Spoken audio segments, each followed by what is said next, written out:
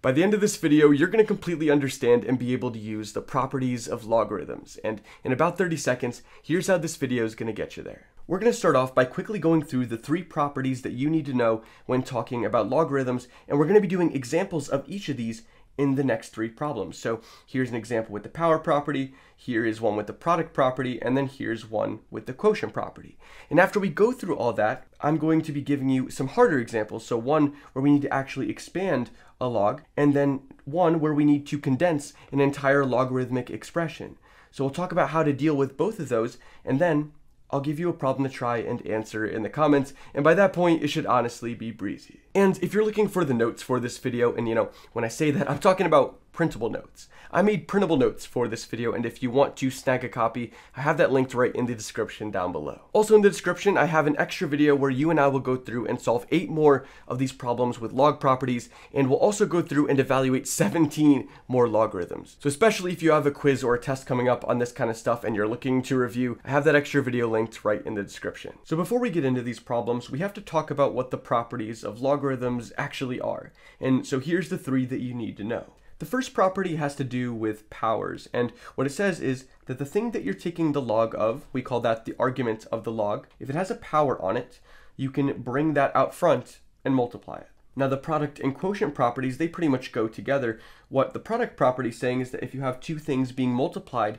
inside the log, you can split this up into two separate logs all you need to do is make sure that you add them together. And with the quotient property, you have two things being divided inside the log, and so you can split the logs up again, but this time you have to subtract them. And you'll see us do all of that in these problems. And the last thing I want to note before we get into these problems is that all of these properties work for natural logs as well. Okay, so now that we've talked about the properties, let's get into these problems. And we're going to start with the log of x to the sixth. Now for this log, you can see that the argument has a 6 in the power, and the power property says that we can bring that power out front. So that's exactly what we're going to do. That 6, we're going to write that out front, and now we just have x left. And so the log of x to the sixth is equal to 6 times log of x. And there you go. Our first problem is done. Now moving on to the second problem, now you can see we have two things being multiplied inside the log. And so what the product property tells us is that we can expand this into two separate logs. We just have to add them. So let's do that. Log base 2 of 16 times 8 expands into log base 2 of 16 plus, make sure to add them, not subtract them. That's for quotients. But it's plus log base 2 of 8. And actually, we can figure out what both of these things are. Remember how we evaluate logs log base 2 of 16, we can set that equal to x. And then from there, we make the 2 bigger, and then this x comes over and becomes the exponent, and the 16 goes over to the other side. And so what this log is really asking is, well, 2 to what power is equal to 16? And well, spoiler alert, it's 2 to the fourth power, so x would be 4, and that means that this log is 4. So that is one way that you can think about it. There is a little bit of a quicker way that you can think about this too. You can just think about it immediately as 2 to what power gives me 16. That will be the value of this log. So if you want to think about it that way, that's perfectly fine as well. So we said that 2 to the power of 4 will give us 16, so this log is 4. And then we have plus this log, which is saying 2 to the power of what gives me 8. And well, 2 cubed is 8, 2 to the power of 3.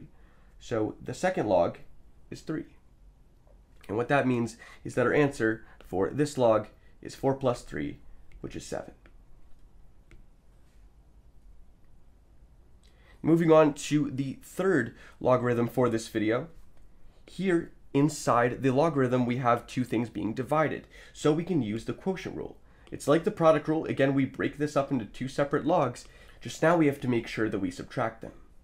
So Let's break this up here. We have the log base 3 of 81 minus log base 3 of 27. That's how we break it up. And from here, you can see again, we can evaluate these logs. The first log is saying 3 to what power gives me 81. And you can think about that real quick. It's actually going to be 3 to the fourth power because that's 3 times 3 times 3 times 3. 3 times 3 is 9. 3 times 3 is 9. It's the same thing as 9 times 9, which is 81. So this is 4. And then we have minus log base 3 of 27. That's saying 3 to what power gives me 27? And well, that's 3 to the third power. So we write a 3. And so this log is equal to 4 minus 3, which is 1. So now that we've went through examples of all the different properties, we can start to combine them. And we can do that in this example here with the natural log of 2xy cubed all over z to the fourth. And that is, that is a z. So for this natural log, the first thing that I see is that we have two things being divided.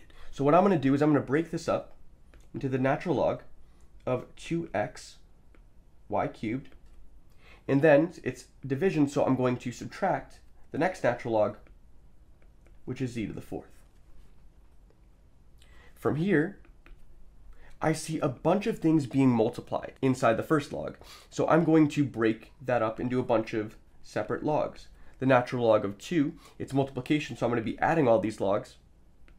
So it'll be plus the natural log of x plus the natural log of y cubed.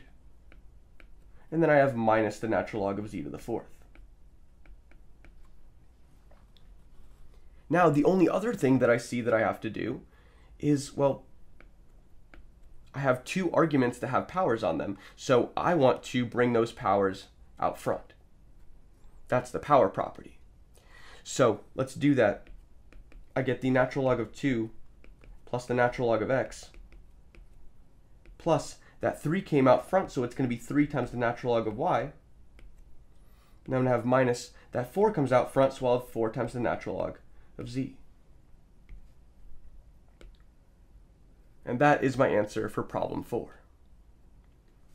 Now for our last problem, instead of expanding a log, we're going to be condensing a whole expression with logs in it. And so what's the first thing that we should do to tackle this mess?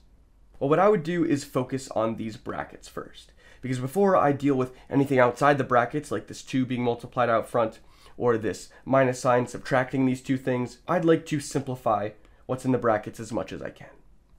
So let's go through and start doing that. For our first bracket here, we have two logs that are being subtracted. And what that means is we can combine them all into one log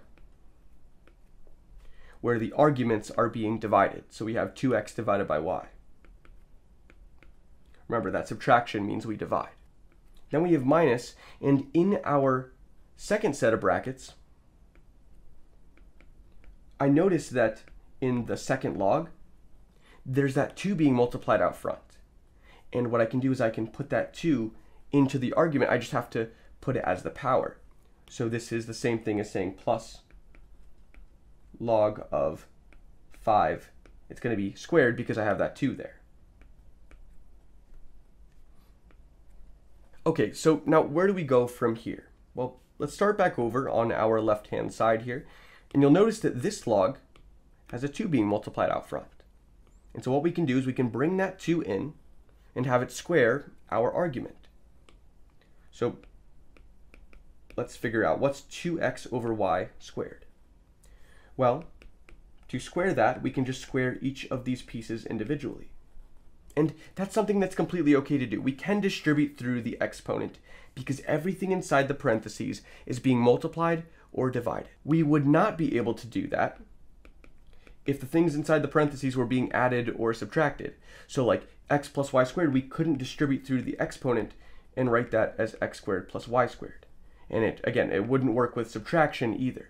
It only works with multiplication and division, and that's exactly what we have going on here, so this is okay. So we have a 2 squared, that's 4, and then we just have x squared over y squared. So that is what this argument is going to become once we deal with this 2.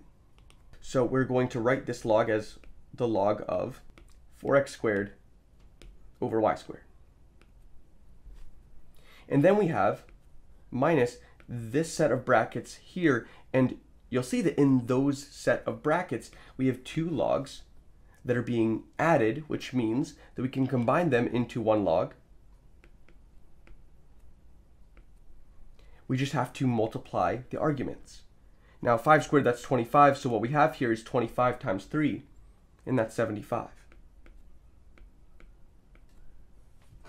And now we have two logs left that are being subtracted, so there's only one more thing to do. We can combine them all into one log.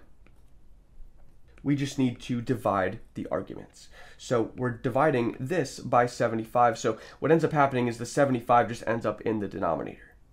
So this is the log of 4x squared over 75 y squared.